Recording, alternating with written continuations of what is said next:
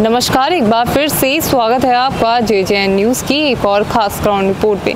इस वक्त जे J N की टीम मौजूद है हल्द्वानी के सुशीला तिवारी अस्पताल में। आपको बता दें कि यहाँ हम इसलिए मौजूद हैं क्योंकि यहाँ से एक गोलीकांड का जो मामला है, वो सामने आया है। हालाँकि जो मामला है, वो बाजपुर का है, लेकिन जिन लोगों को गोली लगी है, उनको रेफर करके हल्द्वानी के सुशीला तिवारी अस्पताल में इलाज के लिए भर्ती कराया गया है। अब आप जानना चाहेंगे कि इस पूरे गोलीकांड का आखिर कारण क्या रहा और क्यों इतनी बड़ी घटना जो है, वो बाजपुर जैसे शहर में घटित हो गई। जब हमारी टीम ने और हमने इन लोगों से बात करी, पीड़ितों से बात करी, पीड़ितों के परिजनों से बात करी, तब उन्होंने हमें बताया कि जो रंजिश थी और उसके बाद जो कुछ युवा थे, वो इन लोगों के गाँव में खनन को लेकर पहुँचे हुए थे। अब जब खनन को लेकर इन लोगों ने विरोध किया तो ये जो गोलीकांड है, ये घटना घटित हुई। यानी कि लोगों की ओर से गोली चलाई गई, जिसमें तीन युवा जो हैं, वो पूरी तरह से घायल हो गए हैं।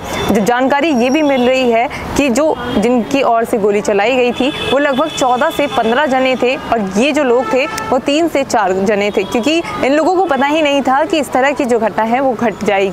साथ ही जो पीड़ित है, उन्होंने हमें बताया था कि इससे पहले भी इन्होंने कई बार पुलिस स्टेशन में ये शिकायतें दर्ज कराई हैं। इन लोगों के खिलाफ जान से मारने की धमकी जो है, वो दी गई है, जिस तरह से पीड़ितों ने हमें बताया था। और आपको बता दें कि पीड़ित की तरफ़ से पुलिस स्टेशन में एफआईआर भी दर्ज कराई गई, लेकिन किसी तरह की कोई कार्रवाई इस और नहीं हुई है, जिसके चलते आज ये गोलीकांड की जो घटना है, वो सामने आई है।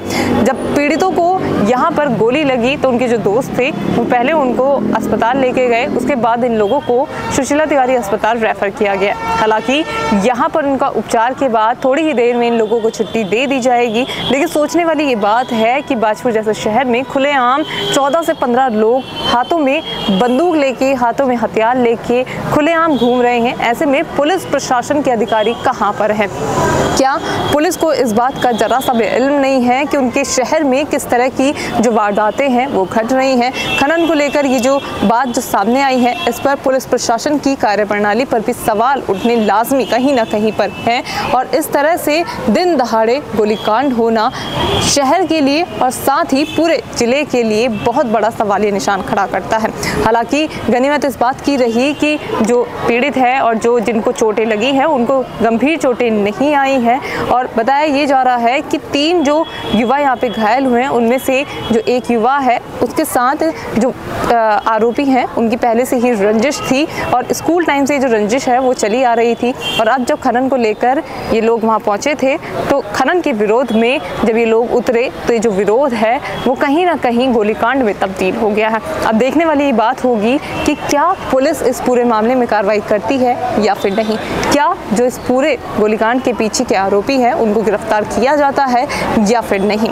तो तमाम सवाल हैं, जिनका जवाब जो है वो पुलिस को ढूंढना है और पूरे जो प्रकरण है, उसमें आरोपी जो जो संलिप्त हैं, उनको सलाखों के पीछे डालना है। तो ये थी जेजन की खास ग्राउंड रिपोर्ट। मैं निशा, अपने सहयोगी गणेश के साथ J J N news Haldwani. नमस्कार।